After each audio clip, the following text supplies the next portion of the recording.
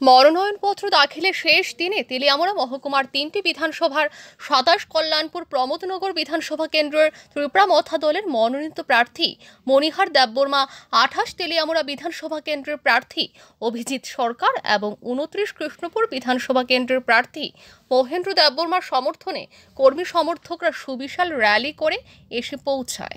মহকুমা শাসকের কার্যালয়ে তিনটি বিধানসভা কেন্দ্রের প্রার্থীরা নিজেদের মনোনয়নপত্র জমা দেন রিটার্নিং অফিসারদের। কাছে।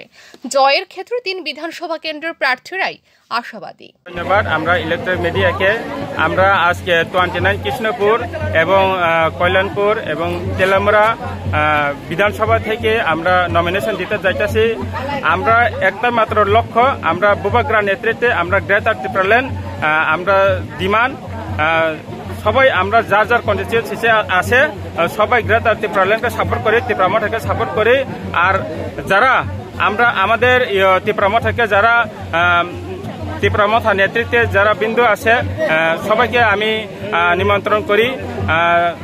সামনে নির্বাচনে ষোলো তারিখ ভূভাগ্রাকে আন্ধ্র চিহ্নতে বুথ দিয়ে জয়যুক্ত করার জন্য।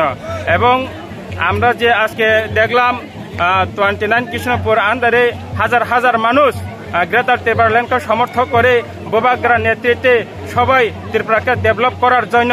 আমরা টোয়েন্টি নাইন কৃষ্ণপুর এলাকাবাসী সারা ত্রিপুরা রাজ্য ডেভেলপ করার জন্য আমরা, আমাকে বুবাগ্রা এই আজকে ক্যান্ডিডেট ঘোষণা করছে। কোনো দল নেই পিছিয়ে, সবগুলো দল তাদের মতো চলছে এগিয়ে, তবে জয় নিয়ে আশাবাদী সব দলের প্রার্থীরাই।